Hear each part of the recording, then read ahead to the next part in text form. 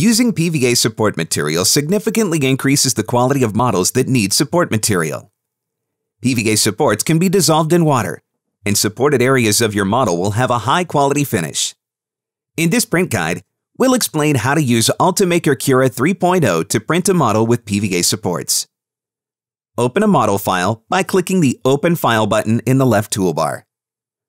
Ultimaker Cura 3.0 supports all major 3D file types, including STL, OBJ, X3D, and 3MF. The model will open in the 3D viewer.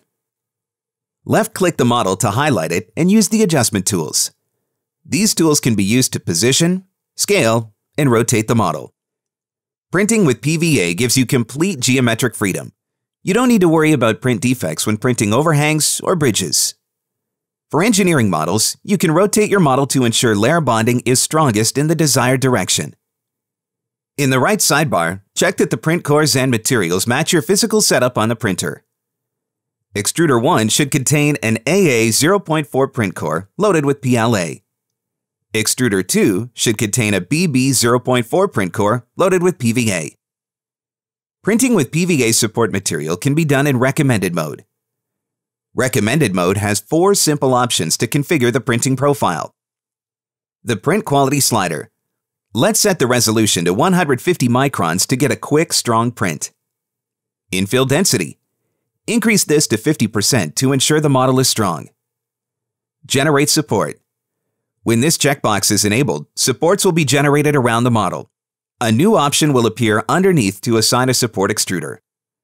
Use the drop-down box to select Extruder 2 as the support extruder.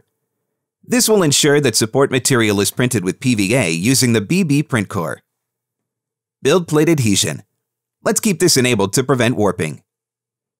Wait for the software to finish slicing the model. Slicing progress is shown at the bottom right corner of the screen.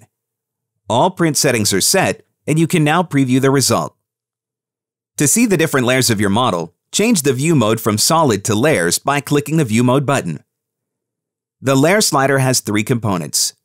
The top and bottom handles can be dragged to set the visible layer range.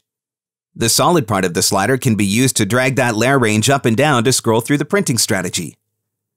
The layer view has multiple color schemes. We can set it to line type or material color. The line type view makes it easy to identify different line segments, while material color easily distinguishes which parts are printed with which material. Additional information about the print job is shown at the bottom right of the screen, such as the file name, the model size, estimated print time, and estimated material usage. When you are happy with the preview, save the file or print directly from the software. Click Save to File, Save to Removable Disk, or Print over Network at the bottom right corner of the screen. That's it. You're all set and ready to start 3D printing. Thank you for choosing Ultimaker.